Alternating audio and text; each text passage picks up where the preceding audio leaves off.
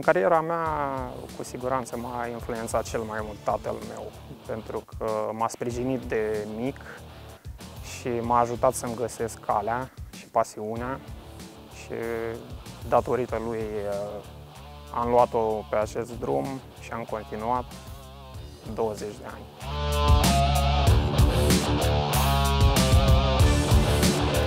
După ce am câștigat aurul la mondialele de juniori, tatăl meu m-a susținut să plec din țară și să, să-mi caut un viitor mai bun.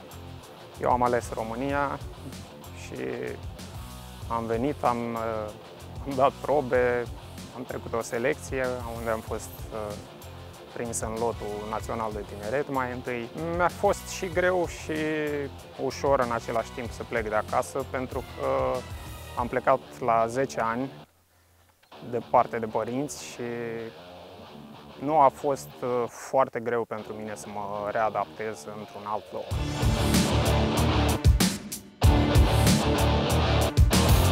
Canoia mi-a dat multe satisfacții, mi-a dat uh, recunoaștere la nivel național, la nivel internațional.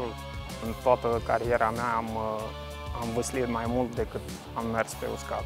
Săptămânal noi parcurgem în canoe în jur de 120-160 de kilometri. Corpul uman este o mașinărie foarte complexă și poate fi îmbunătățită la infinit.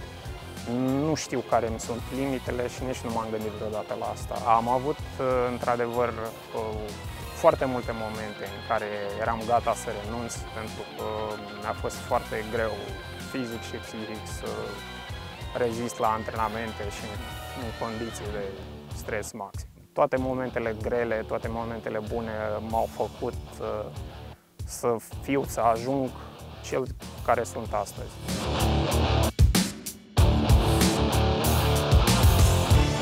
La Londra am plecat din postură de favoriți, eram cotați foarte bine, acolo aveam speranțe foarte mari, dorință multă însă n-am reușit, am, am venit într-o formă mai proastă, am obținut un rezultat mai slab și am, bineînțeles că am trecut greu peste acest moment.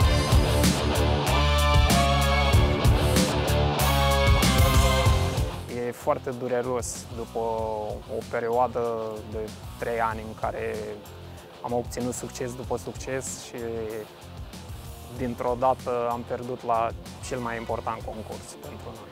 Mi-a fost foarte greu să gestionez acel moment și nu înțelegeam practic de ce s-a întâmplat lucrul acesta, însă nu am fost tentat să renunț, ba din contra am fost mai motivat să reușesc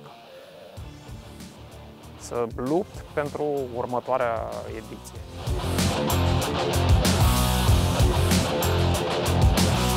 Scandalul uh, înainte de Jocurile Olimpice de la Rio m-a afectat foarte mult și am trecut cu greu peste acest moment. Mi-a luat ceva timp să, să-l depășesc acest moment și să merg mai departe. M-a afectat în general că nu am reușit să ajung uh, la Jocurile Olimpice și am investit foarte mult timp și pregătire pentru Jocurile Olimpice și n-am reușit să ajung acolo și cumva perioada respectivă, practic, mi-a, mi-a fost foarte greu să o gestionez.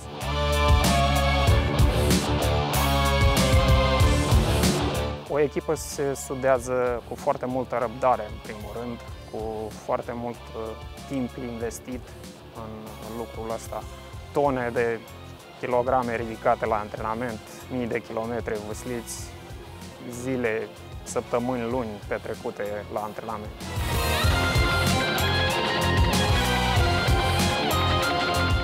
Timpul unei curse, într-adevăr, trebuie să lucrăm uh, ca un singur organism, să existe senzația unui singur om în barcă. Am câștigat multe medalii la campionatele mondiale și europene, însă obiectivul fiecărui sportiv este de a cuceri o medalie la Jocurile Olimpice. Visul meu este aurul olimpic.